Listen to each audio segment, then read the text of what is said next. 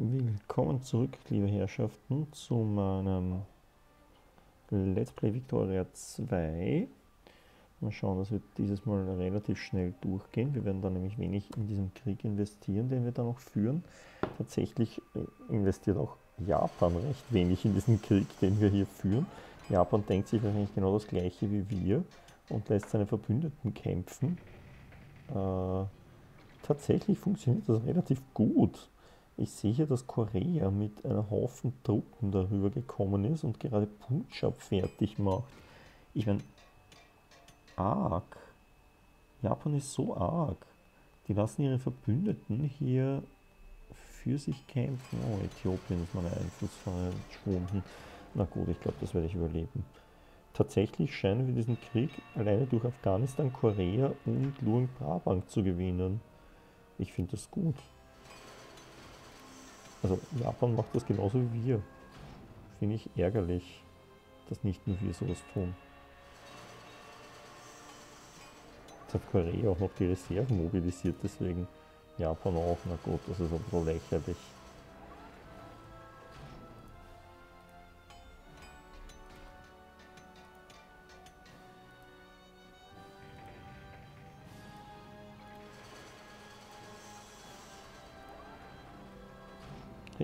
Unsere Flugzeuge sind stärker geworden.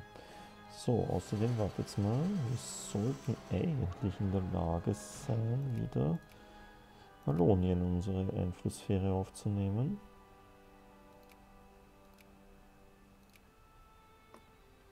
Das hatten wir leider verloren.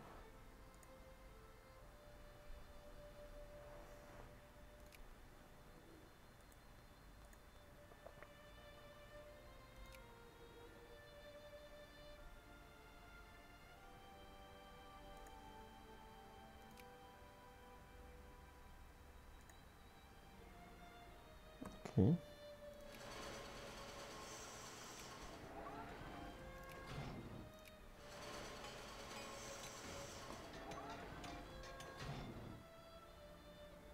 Gut, dass Großbritannien auf den Huch. Das war so schnell. Was war das für ein Krieg?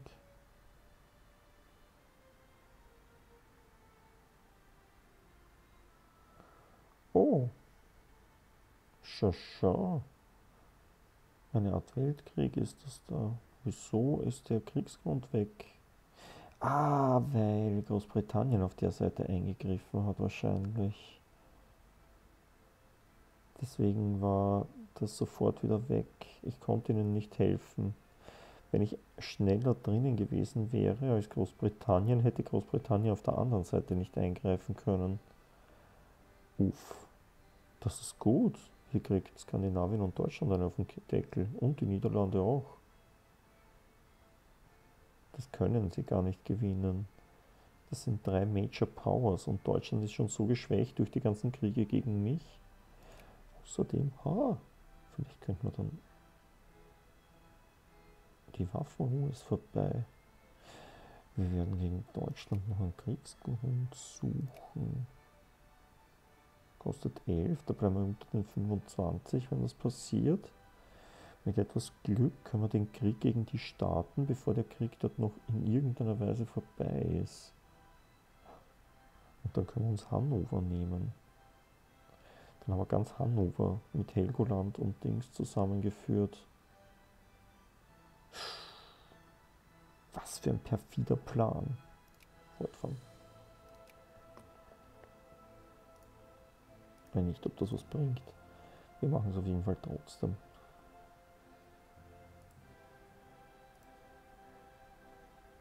Okay. Also Montenegro darf echt nicht durch uns durch. Persien können, können ich auch gern haben. Na okay, hier schon. Boah, ist das super. Wir gewinnen diesen Krieg gegen Deutschland will durch mich durch. Nein, vergesst es.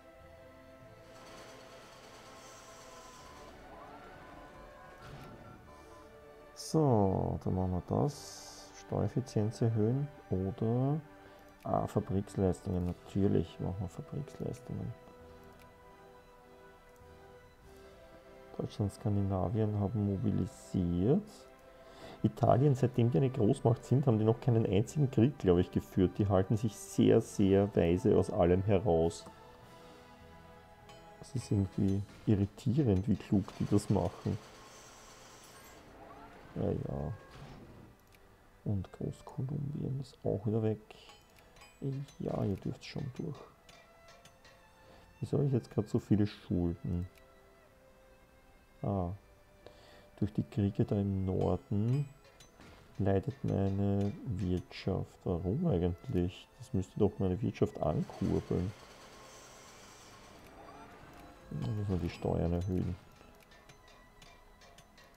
Geht es der Wirtschaft gut? Geht es allen gut? Sagt, man. sagt der Herr Leitl. okay, müssen wir noch mehr raufgehen. Ein bisschen Prestige. Flotten werden stärker. Ah, genau 50 Prozent, das geht schon. 35 und 35 Prozent. Was ich mir schon lange nicht mehr angeschaut habe, ist, wie denn, oh, was ist da alles? Nepal. Nepal hat die Beziehung zu uns verbessert? Echt jetzt? Ich wusste nicht mal, dass das existiert.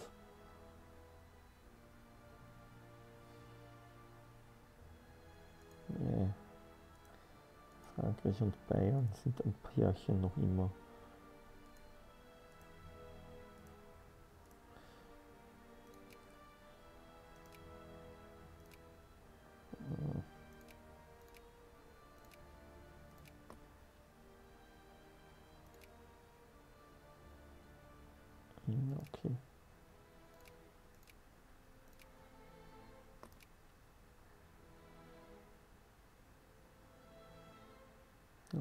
Okay, da kann man keine Beziehungen verbessern mit denen. Gut, mir scheint, als würden wir diesen Punjab-Krieg gewinnen, ohne dass wir irgendeinen Finger dafür gerührt haben. Oh, und Afghanistan will sogar noch was dazu kriegen. Na gut, andererseits verständlich, die haben immerhin den Krieg geführt. also so gesehen passt das schon. Argentinien will ein Bündnis. Na klar, machen wir doch glatt. Oh, Mist. Das geht was schnell zu Ende bei denen. Au, au, au, au. Ha, wir haben den Krieg gewonnen. Gut. Und der Krieg geht auch ziemlich bald zu Ende. Ja, die ganzen pa die Pazifisten machen das nur langsam. Ah, fürchterlich. Aber wir könnten jetzt die Hurra-Patriotisten wieder an die Macht bringen. Was ist denn mit den Dings? Wie ist denn das eigentlich mit den Konservativen, die sind Residenz? Ah, ich hasse das. Wieso sind die Radikalen, also die, die Reaktionären für mehr Bürgerrechte als die Konservativen? Österreich ist echt arg. Gut. Mit den Radikalen sollte es aber schneller gehen.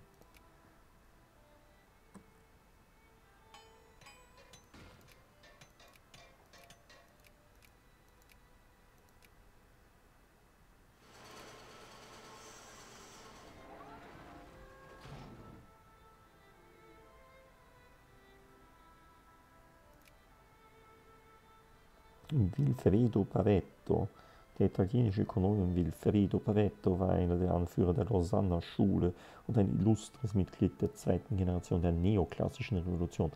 Obwohl er zu Lebzeiten nur moderat einflussreich war, wurde sein Denkansatz bezüglich der allgemeinen Gleichgewichtstheorie während der großen paretianischen Wiederbelebung, was auch immer das war, der 1930er Jahre wiederentdeckt und haben seither viele Ökonomen geleitet. Na okay. Schön. Für ihn. Gut. Zwei Admirale.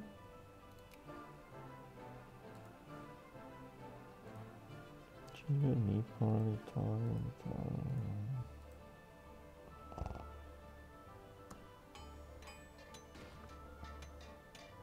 Gut. wird ein bisschen Geld verlieren, ist eigentlich eh wurscht. Okay, gut. Das hat leider nicht funktioniert, was wir wollten. Na schau an. Jetzt brauchen wir nur noch 220 Tage.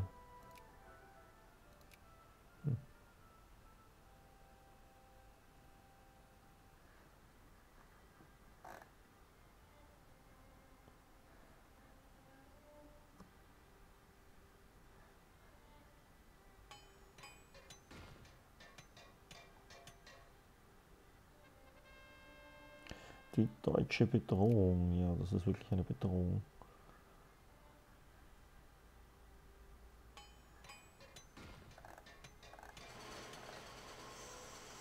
Das ist jetzt Osthannover und das ist auch Osthannover. Das grenzt sogar an uns, das ist super. Ja, wir verlieren kein Prestige. Ah, der Krieg ist zu Ende und schon sind unsere Dinge wieder florierend, unsere Fabriken.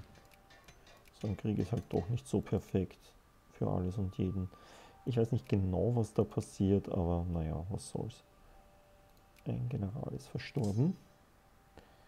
Den werden wir ersetzen durch den Herrn Hortstein.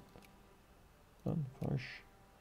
Und wir werden gleich wieder einen General erstellen. Und weiter geht's.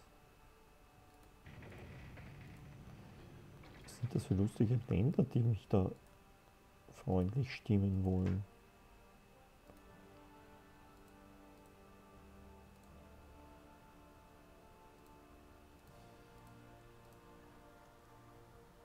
Hm. Ha. Ach nein. Ich will das nicht.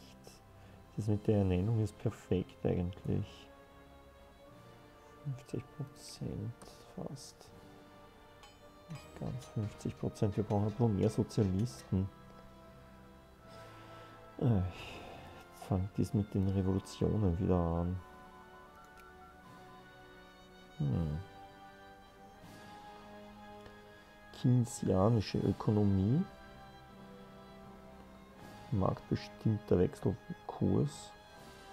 Nö, Hyperinflation wollen wir uns nicht holen. Was kann das? Nehmen wir den Keynes.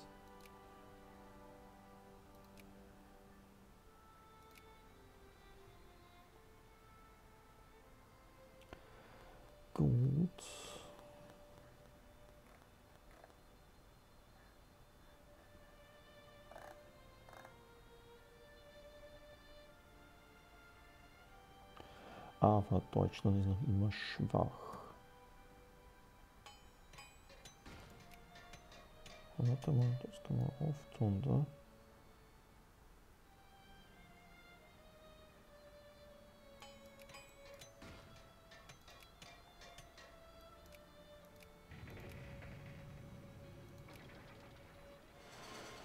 Was? Argentinien ist auch. Ach Gott.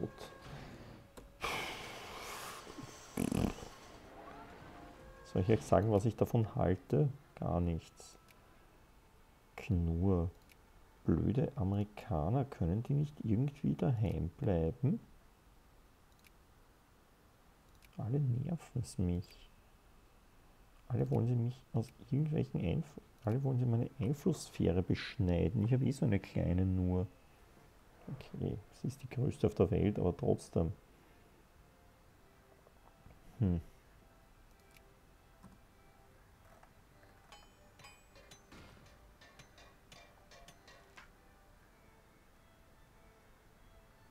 Hey, Luzern ist österreichisch. Sehr gut.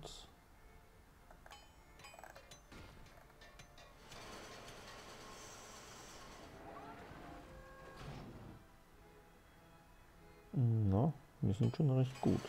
Selbst in Afrika sind einige Sachen österreichisch. Einfach deshalb, weil wir lang genug dort waren. Hey, und die Niederlande können wir auch weiter beackern. Mit etwas Glück.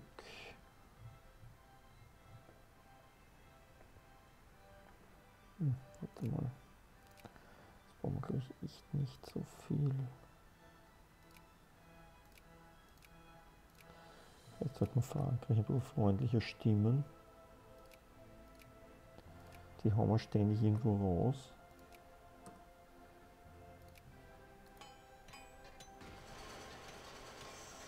Warte mal, Russland hat mobilisiert, Frankreich mobilisiert, Großbritannien und Persien auch. Was ist denn da jetzt passiert? Noch ein Krieg? Echt jetzt? Deswegen mobilisiert sie, wegen diesem Krieg? Er hat sie ja wohl nicht mehr alle.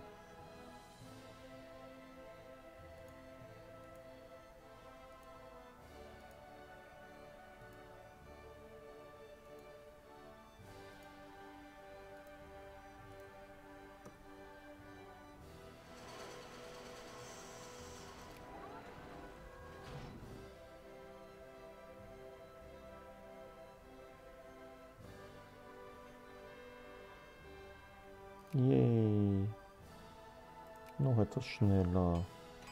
Zu unserem Kriegsgrund. Ha. Und Djibouti wird österreichisch. Yay. Ich liebe es. So, Fokus entfernen, suchen unseren neuen Ding, suchen unseren neuen Staat, den wir österreichisch machen irgendwas, was sich noch ausgeht bis zum Ende des Spiels. 64% im Chart, das klingt gut. Fangen wir gleich mal dort an. Wie viele Österreicher gibt es denn da schon? 15%, nicht schlecht, die drittwichtigste Dings. Schauen wir uns mal die Nationalitäten an. Wie ist denn das jetzt aufgeteilt? Wo sind die Nationalitäten da überhaupt? Abwanderung, Nationalitäten. Hey, in Djibouti haben wir eine Mehrheit österreichisch. In Sela auch. Oder? Ja. Arg. Wir sind so ein Wahnsinn. Wir siedeln das alles um. Und das gesamte Gebiet ist bereits süddeutsch. Sinai auch.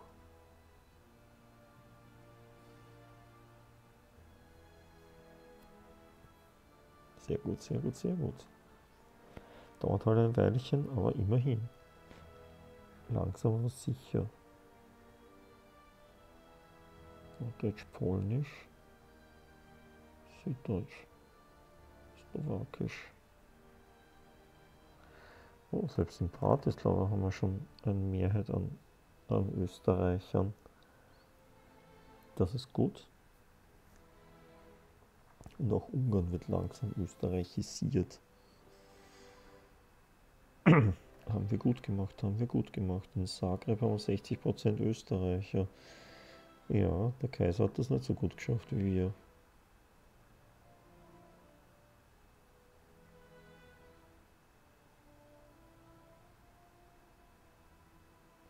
Dafür haben die Franzosen es geschafft, in Siegburg jetzt die Mehrheit zu sein. Schau. Hm.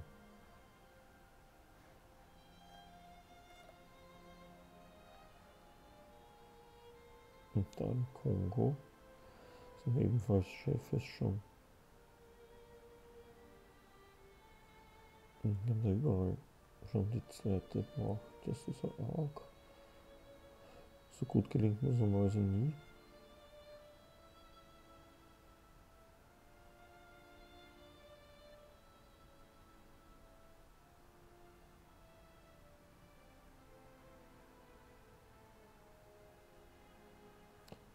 Wow, die Franzosen sind aber weit besser im Ummodeln als wir.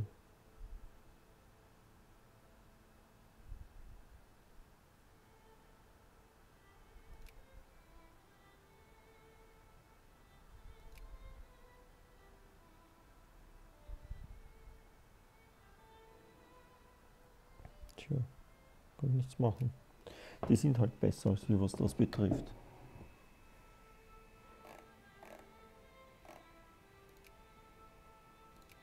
Die haben da tatsächlich Rebellen.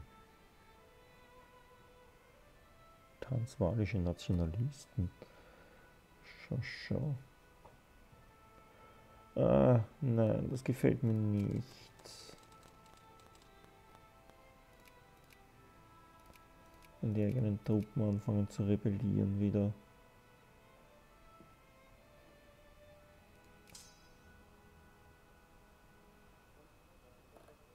Okay, ist nur noch immerhin 36. Gegen wen habt ihr da gerade gekämpft? Doch keine eigenen Truppen oder wie?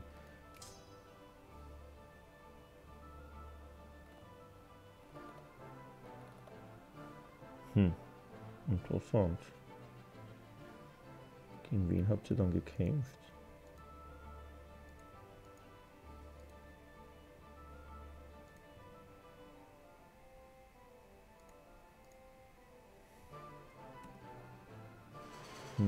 Vielleicht sollten wir doch irgendwie nachgeben.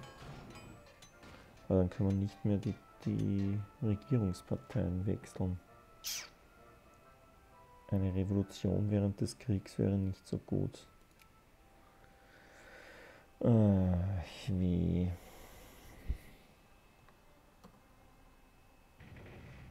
Ja, auf jeden Fall könnte man noch einmal eine Armee bauen.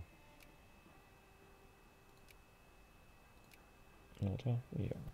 Können wir auf jeden Fall. Eins, zwei, drei, vier, fünf, sechs, sieben, acht,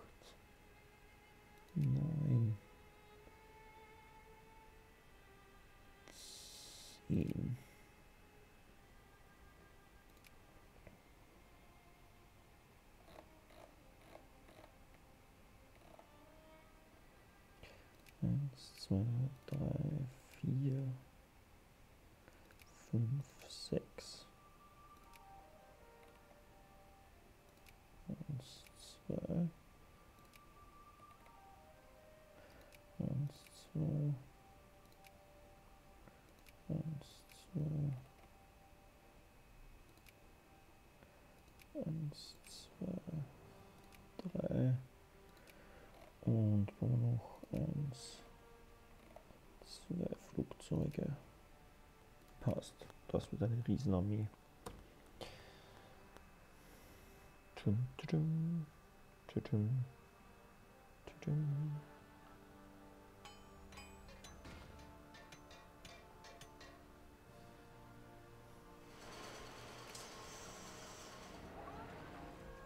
hm. Okay, der hat aber Truppen verloren.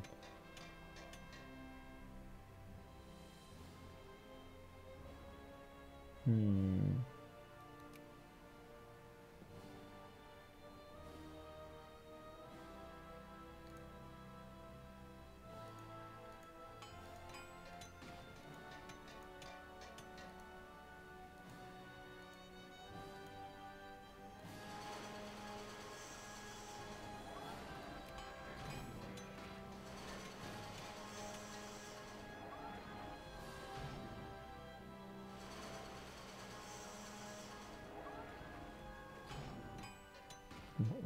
Osthannover haben, ist das überhaupt perfekt. Dann ist Deutschland in vier Teile geteilt. Jetzt, was willst du mehr?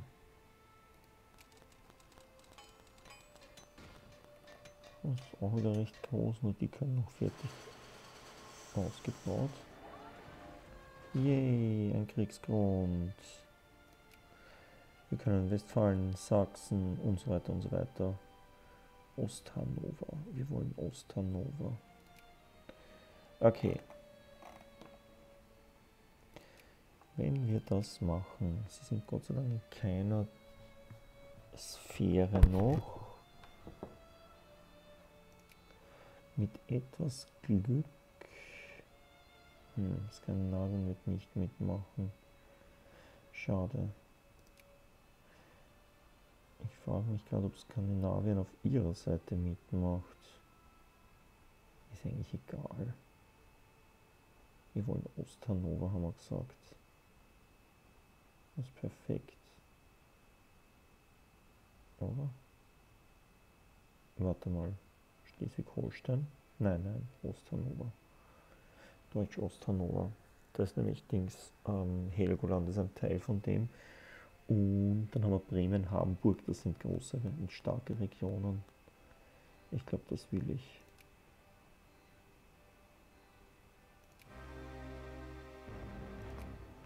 Gut, und jetzt schauen wir mal, wen wir von unseren Bündnispartnern einladen. Oh, die haben gar kein Bündnis mit uns. Mist. Japan.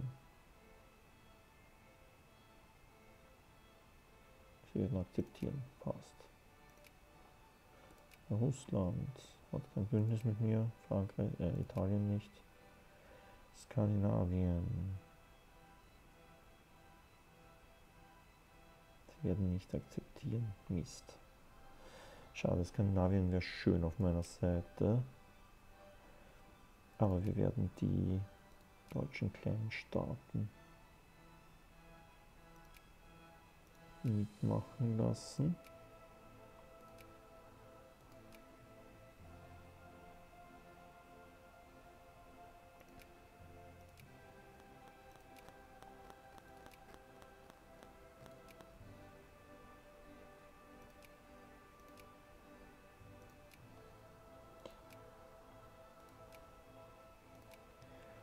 Sollte das Osmanische Reich wieder dummerweise mitmachen auf der deutschen Seite, dann werden wir auch Griechenland wieder bitten mitzumachen.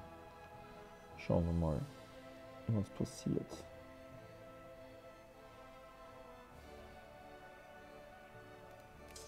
Erstes gehen wir mal da so rein. Da dürfte eigentlich nicht mehr allzu viel stehen von ihm.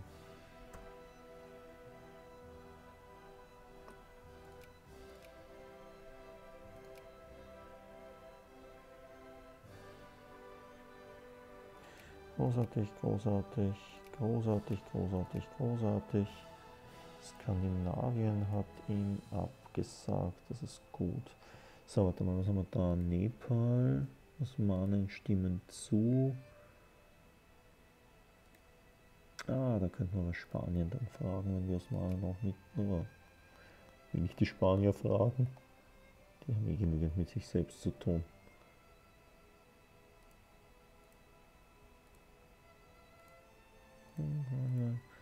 Hm, aber vielleicht macht Dings jetzt mit, nachdem sie ihnen abgesagt haben. Vielleicht macht Skandinavien ja doch mit. Sie werden akzeptieren. Das ist cool. Man muss nur lange genug warten, bis sie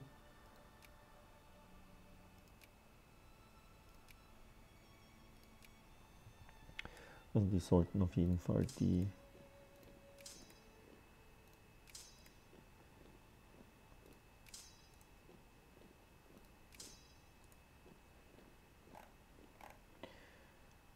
die Osmanen so sehr. Ah, warte mal. Du gehst mal daher. Das sind 45.000 Mann. Wer weiß, was die vorhaben. Und nochmal 50.000 Mann.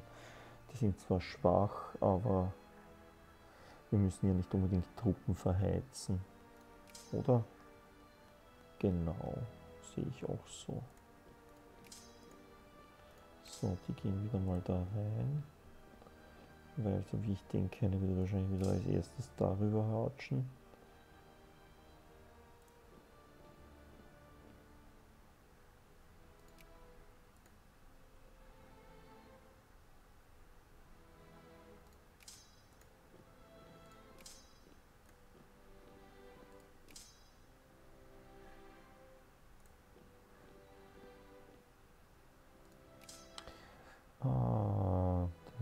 Eigentlich, eigentlich müsste der ja relativ schwach jetzt sein, nachdem er gerade den Krieg verloren hat. Wir können da eh reingehen, wie wir wollen. Was hat er für Truppen? 28, 33.000, das ist doch vollkommen irrelevant. Und einmal feste Truff. Mit etwas Glück verlangt Bayern und oder Dings auch was.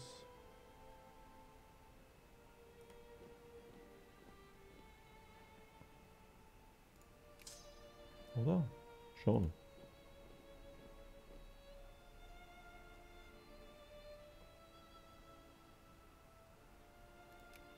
Großartig, großartig. Okay, okay. Okay, okay. Ja, sehr gut. Die haben wir auch noch abgefangen.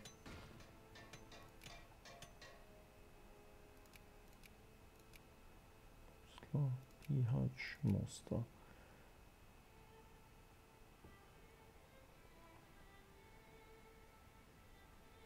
Noch das so.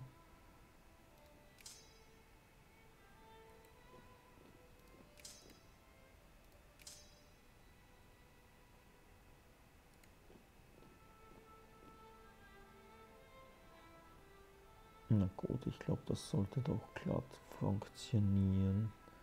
Mit all diesen Truppen hier. Hey, Wallonien, wenn ich die noch mit reinnehme, dann könnten die Luxemburg für mich erobern. Hm, ob sie das machen. Oder ob sie einfach nur dort stehen und doof reinschauen.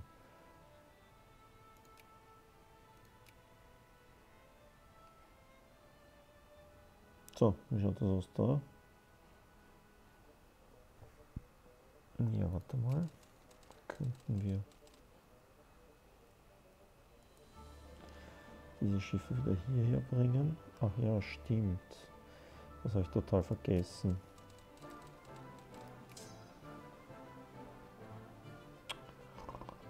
Äh, auf nach Matro.